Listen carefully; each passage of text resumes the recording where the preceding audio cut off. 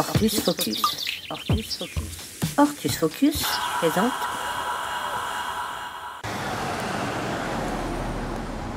Stéphane Cachelin, ardennais d'origine, rejoint Paris dans les années 80. De ses Ardennes natales, il a gardé une relation privilégiée à la nature, surtout à la forêt et à ses gros arbres, mais aussi aux inestimables plaisirs du jardin. La nature, pour moi, euh, quand on me dit je suis écolo ou pas écolo, nous on le vivait euh, de fait parce qu'en fin de compte, quand vous êtes en province, vous avez toujours un jardin potager, vous l'avez fait avec vos grands-parents, avec vos parents, vous-même.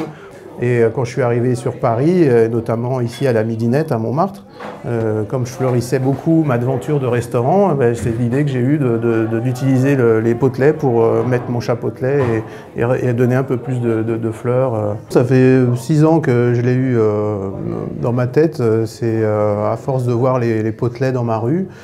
Donc j'habite dans une impasse et puis un jour la mairie a décidé de mettre des potelets partout pour les voitures. Ça faisait un petit peu moche quoi. Et je me suis dit tiens, j'utilise le, potelet pour essayer d'y fixer euh, des fleurs. voilà, le potelet est né, euh, est né comme ça, de cette idée-là. Alors que son idée mûrit depuis quelques années, Stéphane entend que la ville de Paris s'est fixé un nouvel objectif, végétaliser 100 hectares à Paris. C'est le moment peut-être d'accélérer mon idée. J'ai commencé à bien bosser dessus et Eureka, ça a marché.